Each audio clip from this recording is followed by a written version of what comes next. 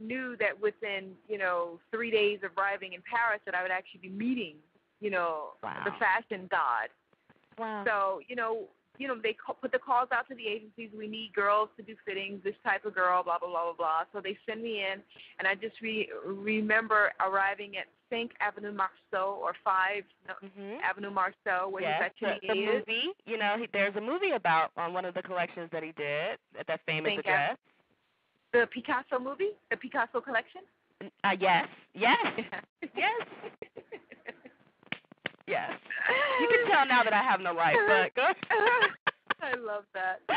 So I go to 5 Avenue Marceau, and there are these beautiful, like it looked like ten feet tall wooden doors with wow. these gilded golden handles, and you buzz the buzzer, and someone pushes from the inside, and the doors automatically open, and they open into this marble staircase. And there's at the top of the staircase, there's this French lady who's so chic. She put, I mean, she put the super, she put the capital S in chic, and she's sitting wow. there. Wow. And of course, she she greets you in French. Uh, mm-hmm. you know, bonjour, bienvenue, mm-hmm. Uh, chez Saint Laurent. How can I help you? Mm-hmm. And I'm standing there. It was like time stood still.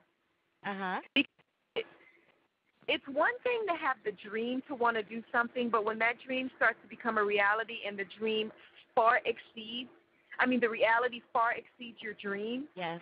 it just becomes like, holy moly. So it's like time stood still. Yes. I was in this tunnel. it wasn't an out of body experience, I don't think. wow. and I was I was walking up the steps. I felt like I was floating to this lady. And I just remember my mouth moving, and I think words came out that said, I have an appointment with Nicole to uh, work in the cabin. And then, you know, she realized that I didn't speak French yet, mm-hmm. and she said, follow me. And she got up, and she was, you know, tall and gorgeous, and she was dressed, of course, from head to toe in couture Yves Saint Laurent. She smelled amazing. wow. And then I follow her like to where the girls are in the cabin, and then I walk in, and Nicole is a blonde American actually. mm-hmm. The one who ran the cabin, she was a former Yves Saint Laurent model, and she ran the cabin. So I walked in, and she's like, you know, hi, and she spoke to me in American English, and then I kind of like snapped out of it a little bit. Sure. And then uh she's like, okay, what's your name? Let me see your book, and she looks at my book, which basically had a, like a bunch of test photos and school pictures that Wow. my agency arranged to look as good as it could. And uh she's like, okay, I need you to try something on, and I could not believe it. I almost fainted when she said that, because I mean, you you know, know the couple days before I was going to all these designers are like, no, thank you, goodbye, don't come back, we don't like you, we don't need you, have a nice Right. life Right. you know, like you hand them your book, they look at the first page, slam it, and give it back to you, and don't even say goodbye. They just go next, and you're just standing there going, okay, what do I do now? So I walk in, she's nice to me, and then they put me in um, high heels, black stockings, red lipstick. Wow. That's what you have to have on to see Mr. Laurent, or you're not getting in.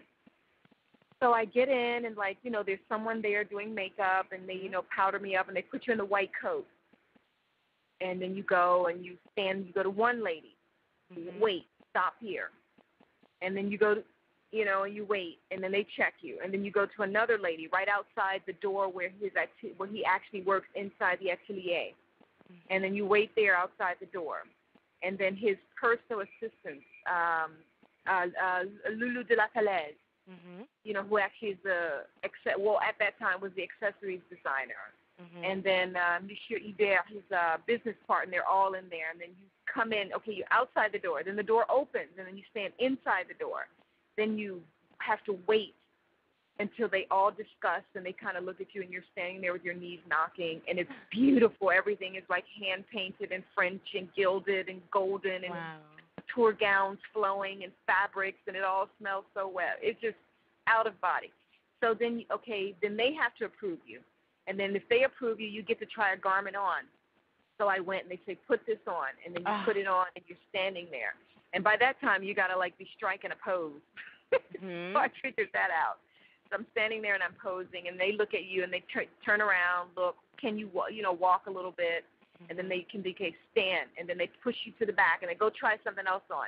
And while you're trying it on, someone's back there and they say, wait.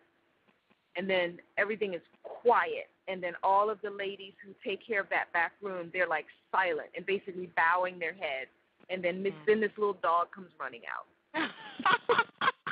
and the dog sits next to this like chair, which is like a throne in my mind, and then Mr. Saint Laurent comes out, and he's beautiful. oh. He's just beautiful. He's Oh. like Santa Claus and your favorite uncle and everybody all rolled into one. And then he comes in and everybody's shuffling and, you know, getting the other girls out who didn't make the cut. And, you know, he comes in and um, they're discussing something in French. And at that time I didn't understand. And, you know, then the more, the experienced models who are in the show are standing there and they're like fabulous and decadent and aloof and like life is wonderful and they're just Mhm. skinny and, and gorgeous. And then he, you know, he talks to one of them and tells them how perfect they are. Then they sashay off, and then it, you're standing in the back, and it's your turn. He sits down, and then he speaks to you in French, and he's like, uh, uh, "S'il vous plaît, marchez," and you're like standing there. Oh my God, what did he say?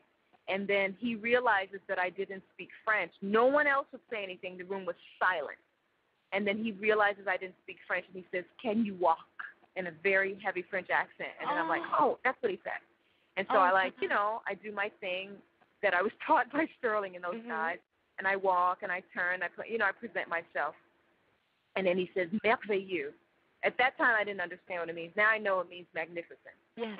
yes. and then or marvelous, you know, whatever. And then he puts, and then he's like, he has me put on another garment. I show that. I'm starting to build confidence, and then he's like, merci beaucoup. And then I'm standing there. He gets up. The little dog walks off. He goes. The door's shut, and I'm standing there.